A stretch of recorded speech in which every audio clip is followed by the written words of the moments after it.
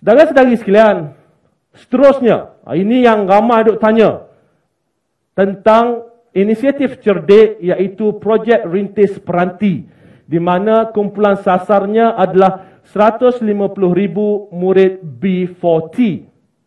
Ada yang tanya setakat mana dah? Senyap je kementerian tak bagi apa lagi?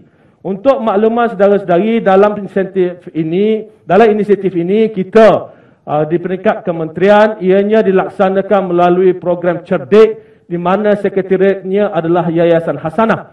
Dalam konteks ini murid akan menerima komputer riba dan juga menerima akses kepada internet untuk tempoh uh, setahun.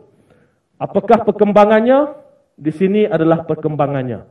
Sebanyak 12,887 unit telah diagihkan ke 95 buah sekolah dalam 51 PPD di seluruh negara.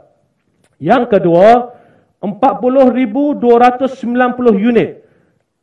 Agihan ini dijangka akan selesai selewat-lewatnya pada 12 Jun 2021. Kita dalam dalam proses untuk mengagihkan uh, lebih 40,000 unit ini uh, selewat-lewatnya pada 12 Jun.